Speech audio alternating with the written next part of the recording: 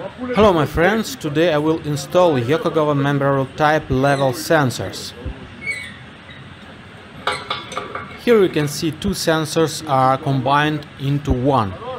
This one will be installed on the lower flange on the lower level and this one will with the display on the upper one. They are connected to each other by such a cable that comes with the kit. The cable length is 15 meters. It will not longer be possible to shorten it. It is factory assembled.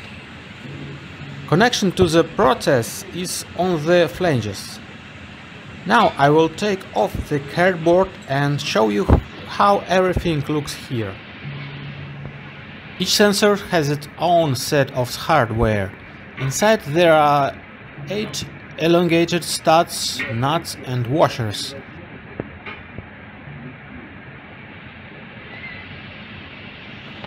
And in this package there are also gaskets. I haven't unpacked anything here yet. Yes, spiral wound gaskets that are installed between the flanges and the device. Here you see a graphite coating and inside a steel tape curved with the letter VOW. That is, then you tighten the studs, you squeeze the gasket from both sides, uh, the spiral deforms and uh, creates a re reverse force of the spring properly. And this outer steel rings allows you not to squeeze the gasket.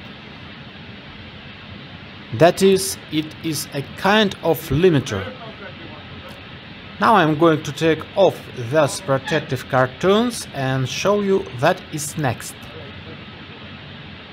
Now you can already see that this device is actually a pressure measurement sensor.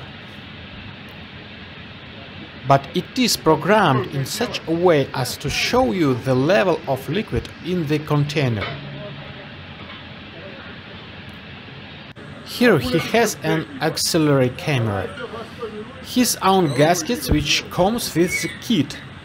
It's also spirally wound. And here is the camera itself. There are the two fixing bra uh, brackets made of thick stainless steel and two uh, fittings, the so-called relief valve. Then you close the valve on the manifold, uh, gas or liquid remains under pressure in the chamber and in order to relieve pressure you need to unscrew. This screw is not large and reset it so that the sensor can be safely serviced or repaired. Now I will install the studs and install the device directly on the flange. Such is the flange on the tank.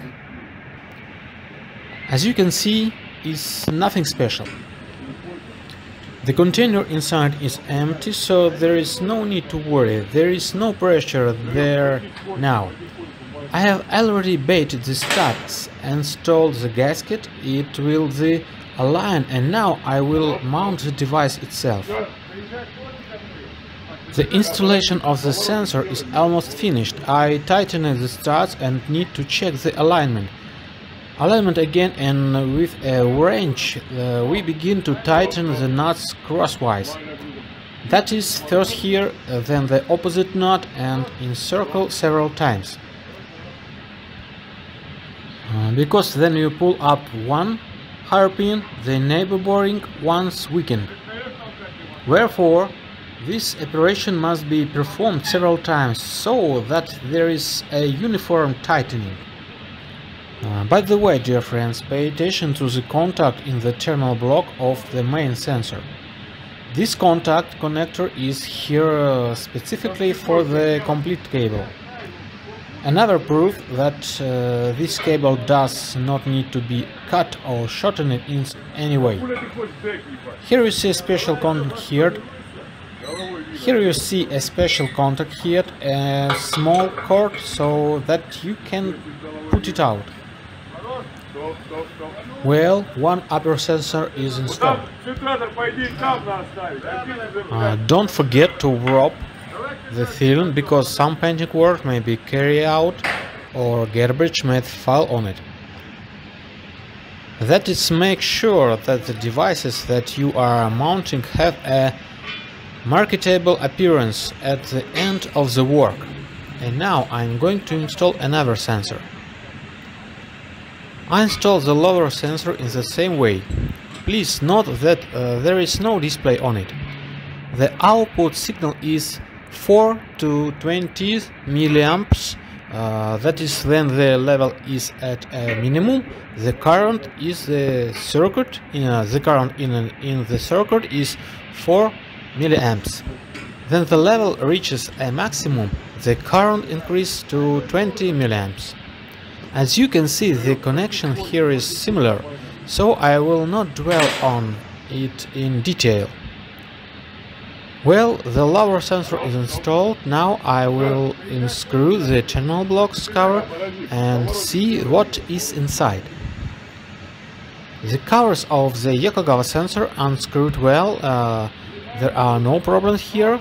Here you see the channel block and the wiring diagram is printed on the inside of the cover, so you will not get confused. That's how today's video turned out. I hope it will be interesting and useful for someone. If so, don't forget to like and subscribe to the channel. See you soon.